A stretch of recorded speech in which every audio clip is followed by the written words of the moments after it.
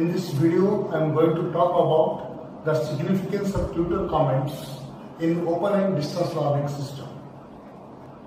As we all of us know, in the open and distance learning system, the learners are separated from the university, from the teachers by a physical distance. In such a situation, the self-learning materials and the assignments, they play a very important role in bridging this gap, bridging this distance between the learner and the university. The academic counselors or the tutors, through their comments on the assignment responses, they communicate with the learners at various levels. The communication between a tutor and the learners, it could be academic communication, it could be personal communication, it could be supplemental communication. Now let us see what we mean by these phrases. First of all, academic communication. When the teachers, when the tutors go through the assignment responses, they read between the lines, they check what are the responses which are correct as per the questions given in the assignment and what are the lapses are there and what are the strengths and weaknesses of the assignment responses. They suggest changes whenever they feel that there is a need to make any change in a way, they try to help the learners understand their strength and weakness and improve upon them. Now we have personal communication. In the distance learning system, what happens? The learners come from variety of backgrounds. So their attitude to learning, so their style of learning, they differ.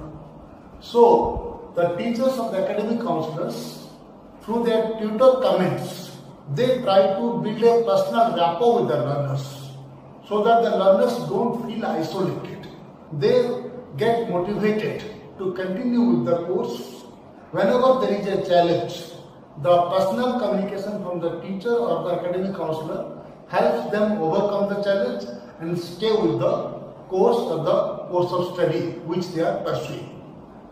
Now, thirdly, we have supplemental communication. Supplemental communication by the teachers or by the tutors with the learners. It happens when the learners need clarification regarding their doubts. They need to change their study skills, their study habits. The teachers guide them through this kind of communication, that is supplemental communication. The learners may need such kind of communication when they are preparing for the exams, while answering the question papers of the previous years. Similarly, the teachers can also help them by providing model answers to the previous questions, that is supplemental communication. Now let us discuss what are the different kinds of tutor comments that we find across in open and distance learning system. While going through the assignment responses, the teachers can give two types of comments. One is the teaching type of comments and the second one is the non-teaching type of comments.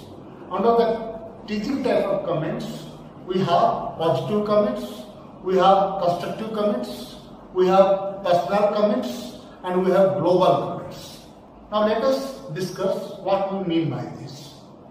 Positive comments, as the term suggests, they are positive in nature, they motivate the learners. For example, you have made a very good attempt, keep it up. This is a positive comment. Constructive comment, as the term indicates, it, it is constructive, it is positive. It motivates the learners. It encourages the learners to keep up their study. For example, you have given a very beautiful answer to this question, but it could have been better if you had given more examples. This is a constructive comment. Because the teacher exactly wants to tell the learner what he or she could have done to improve the answer. Now we have personal comments. As we have already said, learners in the distance learning system, they are isolated. They are distanced from the university. These personal comments by the teachers remove this isolation, help the learners remain connected with their teachers, connected with the university, and most importantly, pursue their studies without much challenge. Now let us discuss what are the non-teaching type of comments. Under the non-teaching type of comments, First of all, we have hollow comments. Hollow comments means they sound very good, but they mean nothing. For example, you need to read the lessons again and redo the assignment. The learner doesn't know what to do with this kind of statement. He doesn't know what to study in the lessons. This comment doesn't serve any purpose. Now we have harmful comments. Harmful comments, as the term indicates, they are harmful, they are lewd, they are harsh, they demotivate the learners. Like, this answer is rubbish.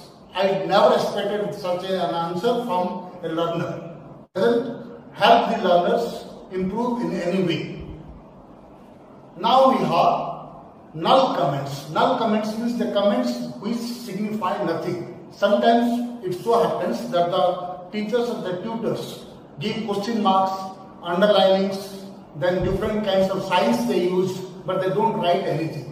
The learners don't know what to do with these signs and signals. So these are null comments. Then we have misleading comments. Sometimes teachers give comments like read the unit again and redo the assignment. They don't tell the learner exactly what portion of the unit they should read.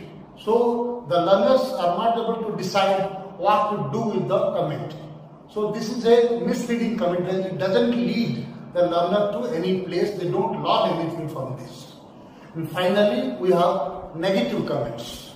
Negative comments, the term sounds negative, but they are really constructive because when the teachers tell in clear terms that something is not available, some idea is not clear, some concept is not relevant, they can write this explanation is not correct. Yeah, this definition is not correct. This is a negative comment. But it helps the learners improve upon their study and it is very much also useful to them to grow into independent and autonomous learners. Thank you very much.